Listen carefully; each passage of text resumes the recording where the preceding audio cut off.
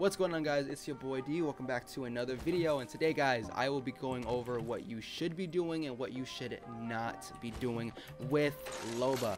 If you guys are brand new to the channel, please subscribe, I make videos like this all the time, and I also live stream on my Twitch every single day. So if you want more live commentary, make sure you go ahead and check out my Twitch in the description below. Now what people are doing wrong with Loba is they're trying to get away from fights when they're in a sticky situation. So let's say I'm in a close range fight here, Let's go grab an R99 real quick. So let's say I'm in a close range fight with this guy. I'm gonna shoot him out.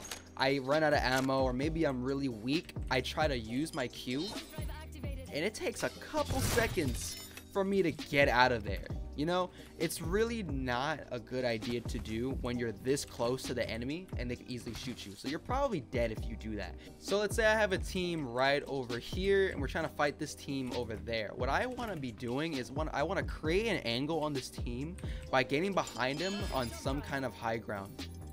For example, now I'm behind them and now I have high ground. I have high ground up here I can shoot them from up top. They also have to worry about my team that was originally over there.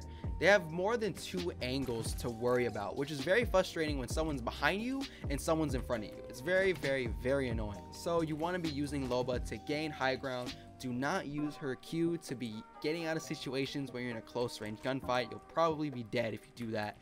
But yeah, guys, those are my two quick tips that I have for using Loba. If you like this video, please give it a like. And if you're brand new to the channel, please subscribe. I do make videos like this on the daily. Anyways, guys, I'll catch you guys on the next one. Y'all have a good one. My ult's ready. Ooh. Be faster.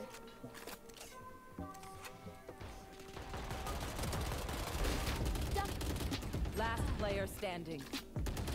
One enemy remaining. Ten seconds left. Hey!